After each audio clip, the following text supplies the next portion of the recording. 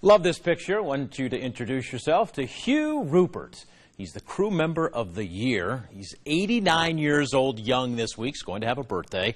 Works at McDonald's, and what he's holding right there is the Employee of the Year award. News Center 7's James Rider got Hugh to slow down just enough to talk to him about the honor and what keeps him motivated. I'm so proud of this.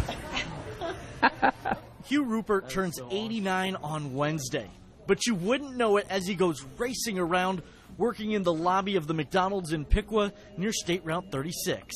Hugh represents everything that I would like to see in the culture of my restaurants. Just about two years ago, Hugh was sending out applications, and when people heard his age, they hung up on him. But what they didn't take into account is his unbridled work ethic.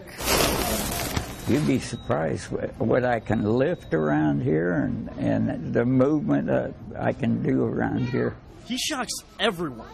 Whether it's people his own age saying they wish they could move like him, Yes. or even people much younger. A couple of the high school boys, they says, I can't keep up with them. It's no wonder he won the Restaurant's Employee of the Year award. General Manager Patty Saylor called it a no brainer, and younger employees even look up to Hugh.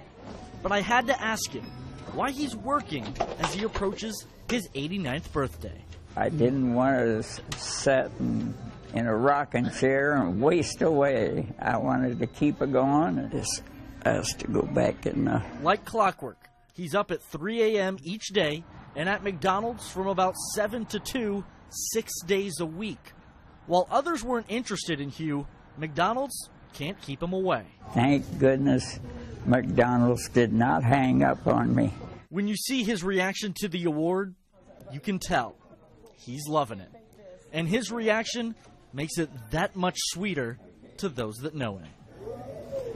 You know, it's without fighting back the tears, it means a lot. Hugh told me he has no plans on slowing down. He wants to be a fixture working in this lobby until he's 100. And then finally, he might retire and slow down. Reporting in Piqua, James Rider, News Center 7. Who needs your golden years when you have the golden arches, right, Hugh? uh, he's been with McDonald's about a year. Before that, he worked in electronics with Hobart Brothers and worked in maintenance at the Christian Life Center Church.